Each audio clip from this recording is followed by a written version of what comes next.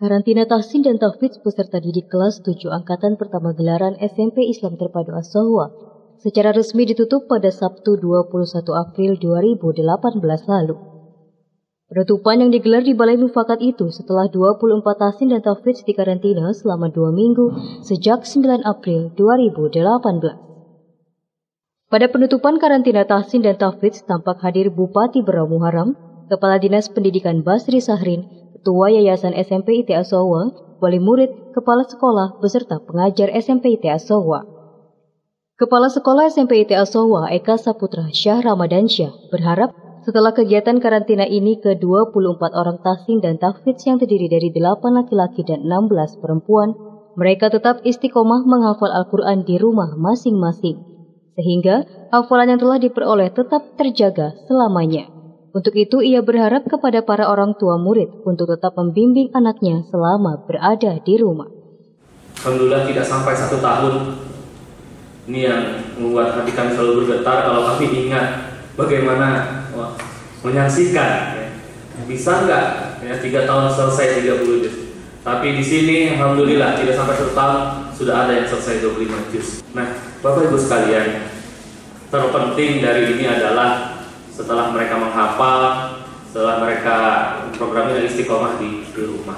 Maka dari itu karantina ini adalah awalnya, awal membiasakan diri.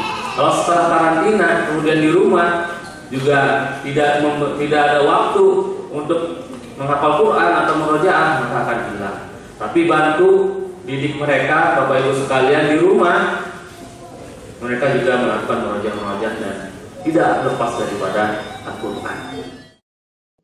Sementara itu Bupati Berau Muharam berkeyakinan bagi orang tua yang telah menitipkan anaknya menjadi seorang tahfidz Quran merupakan langkah awal yang baik untuk mempertajam skill pemahaman terhadap nilai moral yang diajarkan di dalam Al-Quran sehingga mampu mencetak lebih banyak lagi para tahfidz muda yang ada di Kabupaten Berau.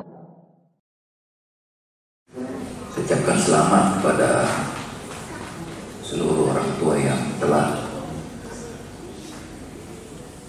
mengarahkan pendidikan anaknya kepada hal-hal yang bersifat islami ini adalah pilihan yang tepat untuk awal merintis masa depan anak kita ada empat kelebihan penghafal Al-Quran di sisi Allah Subhanahu wa Ta'ala. Yang pertama adalah ini dijelaskan dalam hadis-hadis. Yang pertama adalah nanti derajatnya disetarakan dengan derajatnya para nabi dan rasul. Subhanallah.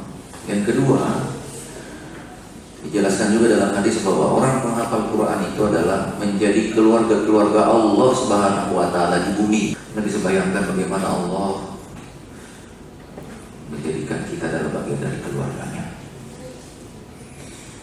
Ketiga, penghafal Quran itu memiliki derajat yang tinggi di surga dibandingkan dengan karena di dalam surga itu ada tingkatannya macam-macam.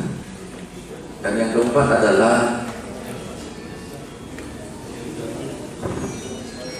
bukan hanya berpengaruh kepada dirinya sendiri, tetapi penghafal Quran itu berpengaruh dan memberikan syafaat kepada keluarganya, utamanya orang tuanya itu bahkan bisa memberi syafaat 10 sampai 70 orang. Subhanallah. Dari keluarganya. Maka kalau kita sebagai orang tua yang belum bisa menghafal Quran paling tidak keturunan kita kita support kita dorong supaya menjadi penghafal Al-Quran. Miko Gustinanda, Benus TV, melaporkan.